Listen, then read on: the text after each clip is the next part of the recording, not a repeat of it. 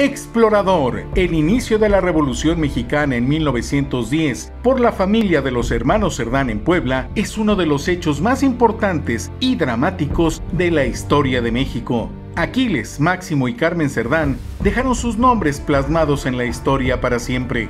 Pero usted sabía que Carmen estuvo muerta antes de su gesta revolucionaria? Hoy hablaremos de cómo Carmen Cerdán volvió de la muerte. Tenía 16 años cuando conoció el inframundo y regresó a la vida.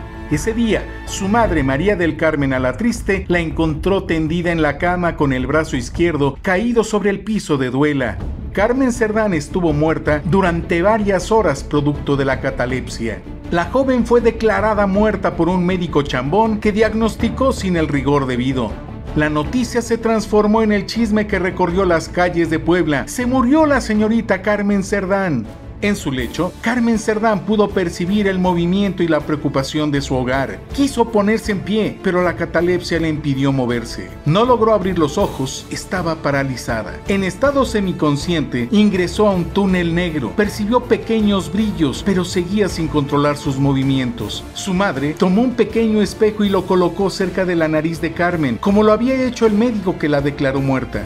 Esperó y esperó hasta percatarse de la leve sombra reflejada en el vidrio. Carmen Cerdán estaba viva. Ante el estupor de la familia, abrió los ojos por fin.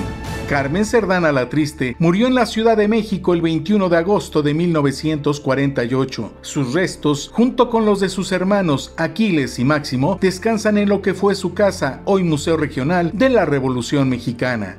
La futura heroína fue al inframundo y volvió para iniciar la Revolución Mexicana. Julián de Jesús Peña, explorador,